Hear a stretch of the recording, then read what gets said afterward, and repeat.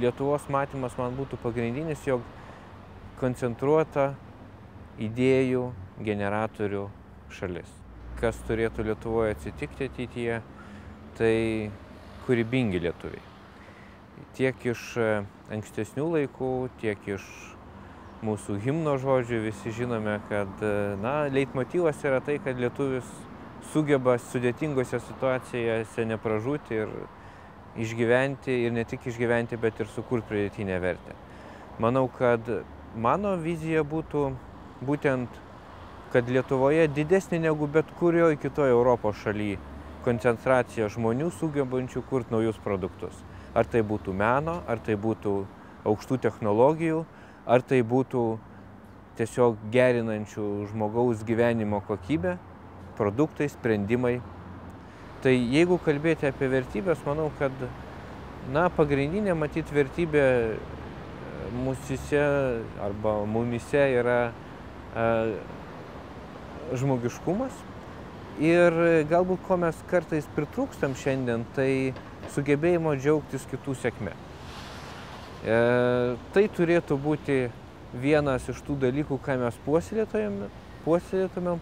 Ir aš galbūt nekalbėčiau apie tas bendražmogiškas, krikščioniškas vertybės. Mes jas turime ir apie tai dar kartą šnekėti galbūt kitam kontekste vertėtų, bet šiame idėjos arba vizijos Lietuvos kontekste matyt verta kalbėti apie tai, jog mm, mes turėtumėm būti ambicingesni, mes turėtumėm būti e, aiškiai turintis didesnį bendrumą tarpusavyje.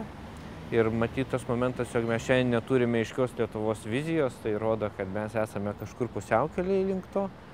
Ir jeigu mūsų jungiančioji grandis arba jungiančioji vizija, ir nesakau, kad būtinai viena jį turi būti, nes matyt mes esame per daug istoriškai gilias tradicijas turintis, kad šitoje teritorijoje gyvenantys žmonės būtų labai galima nukreipti vieną kryptimą. Ne? Matyt, mes turėtumėm keletą tokių mūsų jungiančių momentų, kaip vizija, kuri, na, dar kartą vėlgi pasikartosiu ir grįšiu prie to, kad kūrybingumas ir išlaisvita kūrybinė energija galėtų būti tas potencialas, kuris, kuriuo įremtųsi mūsų na, tiek aukštų technologijų, tiek e, galbūt šiandien pasigirstančios mintis, jog turėtume būti vieno ar kito regiono centras, vieno ar kito galbūt e,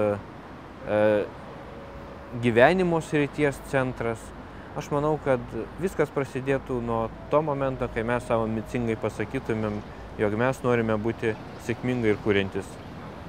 Kūrinti tauta, Bet čia labai svarbus momentas matyti ir vertybinių požiūrių, kad ne tik tai kūrintis patys savo, bet kūrintis Europai.